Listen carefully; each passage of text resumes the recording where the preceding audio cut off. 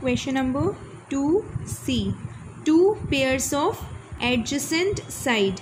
Adjacent side you know means close sides. Nearby. That is known as adjacent side. Now if you will see this figure adjacent means the sides which are in front of that. So can we say this kl means kl is one side. In means attached with kl which another line is there?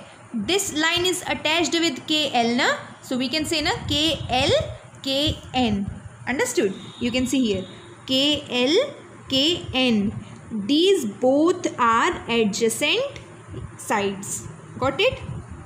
Then we can say this uh, nm nm is attached with ml right?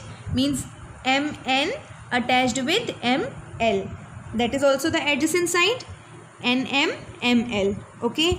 After this what else could be the attached side? If i just uh, slide this like this what else could be the attached one? We can say this na?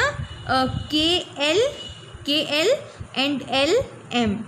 Got it? And then like this m n n k. You can see here.